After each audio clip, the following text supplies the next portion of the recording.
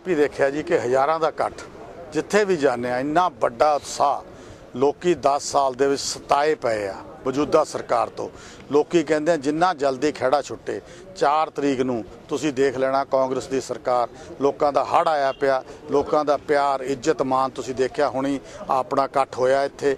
ਲੋਕੀ ਸਾਰੇ ਚਾਹੁੰਦੇ ਆ ਕਿ ਕਾਂਗਰਸ ਦੀ ਸਰਕਾਰ ਆਵੇ, ਕੈਪਟਨ ਅਮਰਿੰਦਰ ਸਿੰਘ ਮੁੱਖ ਮੰਤਰੀ ਹੋਵੇ, ਤਾਂ ਕਿ ਪੰਜਾਬ ਦਾ ਭਲਾ ਹੋ ਸਕੇ। ਸੋ ਬਰਨਾਲੇ ਦੇ ਵਿੱਚ ਲੋਕਾਂ ਨੇ ਮਨ ਬਣਾ ਲਿਆ ਕਿ ਆਉਣ ਵਾਲੀ ਸਰਕਾਰ, ਕੈਪਟਨ ਅਮਰਿੰਦਰ ਸਿੰਘ ਦੀ ਸਰਕਾਰ ਆਊ ਔਰ ਆਪਣੀ ਕਾਂਗਰਸ ਦੀ ਇੱਥੋਂ ਸੀਟ ਦੀ ਜਿੱਤ ਹੋਏਗੀ। ਦੇਖੋ ਜੀ, ਮੈਂ ਆ ਵੀ ਜਦੋਂ ਮੈਂ ਬਰਨਾਲੇ ਸੀਗਾ, ਉਦੋਂ ਵੀ ਮੈਂ ਹੈੱਡ ਬॉय ਹੁੰਦਾ ਸੀ। ਜਦੋਂ ਮੈਂ ਕਾਲਜ ਸੀਗਾ, ਉਦੋਂ ਵੀ ਹੈੱਡ ਬॉय ਸੀਗਾ। ਜਦੋਂ ਮੈਂ ਬਿਜ਼ਨਸ ਕੀਤਾ, ਉਦੋਂ ਵੀ ਬੜਾ ਪਰਫੈਕਟ ਬਿਜ਼ਨਸ ਕੀਤਾ, ਮਿਹਨਤ ਕੀਤੀ, ਮਿਹਨਤ ਦੀ ਕਮਾਈ ਕੀਤੀ। ਹੁਣ ਮੈਂ ਸਿਆਸਤ ਵਿੱਚ ਆ ਕੇ ਵੀ ਆਪਦੇ ਲੋਕਾਂ ਦੇ ਨਾਲ, ਪ੍ਰੇਮ ਪਿਆਰ ਦੇ ਨਾਲ, ਅਸ਼ੀਰਵਾਦ ਦੇ ਨਾਲ, ਹਮੇਸ਼ਾ ਮੈਨੂੰ ਅਸ਼ੀਰਵਾਦ ਮਿਲਦਾ ਰਿਹਾ।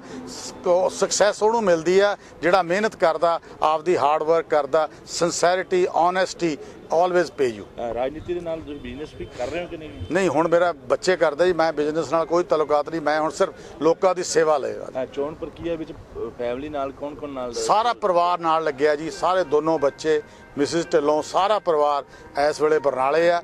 ਅਸੀਂ ਬਰਨਾਲੇ ਦੇ ਲੋਕਾਂ, ਅਸੀਂ ਆਪ ਬਰਨਾਲੇ ਵਾਲੇ ਆ। ਬਰਨਾਲੇ ਦੇ ਲੋਕਾਂ ਦੇ ਵਿੱਚ ਆ। ਲੋਕਾਂ ਦਾ ਪਿਆਰ ਮਿਲ ਰਿਹਾ। ਲੋਕਾਂ ਦੇ ਨਾਲ ਚਟਾਨ ਵਾਂਗੂ ਖੜੇ ਆ। ਲੋਕ ਸਾਡੇ ਨਾਲ ਚਟਾਨ ਵਾਂਗੂ ਖੜੇ ਆ। ਅਸੀਂ ਇੱਕ ਵੱਡੇ ਪਰਿਵਾਰ ਦੇ ਤੌਰ ਤੇ ਹਮੇਸ਼ਾ ਪਹਿਲੀਆਂ ਦੋ ਇਲੈਕਸ਼ਨਾਂ ਵੀ, ਹੁਣ ਵੀ ਬਰਨਾਲਾ ਸਾਰਾ ਅਸੀਂ ਇੱਕ ਵੱਡੇ ਪਰਿਵਾਰ ਦੇ ਤੌਰ ਤੇ ਇਲੈਕਸ਼ਨ ਲੜਦੇ ਹਾਂ।